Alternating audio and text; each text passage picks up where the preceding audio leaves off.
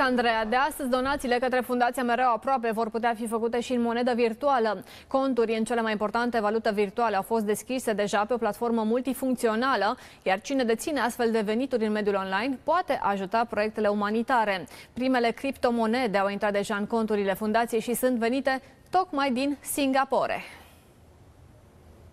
We will start this implementation and uh, announce that publicly when people can start to donate. And from cost point of view, once it is implemented, we have made a promise that we will click the donation button first. Thank you.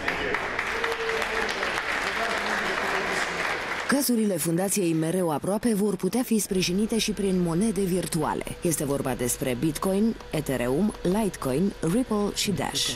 We have been approached by Mirror Proper, which we have understand is a charity organization that is doing a lot of good for children. We will provide a solution for the association uh, to actually accept donations in cryptocurrency. Procedura este simplă. Oricine are criptomonede și vrea să ajute campaniile sociale o poate face folosind conturile deschise pe platforma COSS. Exact cum primiți donațiile în, uh, în sistemul bancar, în conturile dumneavoastră bancare și după aceea ajutați uh, cazurile sociale respective, așa o să primiți uh, uh, crypto assets, cryptocurrency, criptomonede în portofele digitale care o să vă aparțină dumneavoastră. Prima donație a fost făcută chiar astăzi, în Ether, monede virtuale care se tranzacționează în prezent la 260 de dolari. Suntem onorați să, să facem prima donație pentru mereu aproape. O să donăm 10 Ether pentru, pentru cazurile sociale pe care le administrați și sper să, să, ajute, să ajute în continuare fundația să crească. Poți și cu moneda virtuală, sigur transformabilă în bani reali,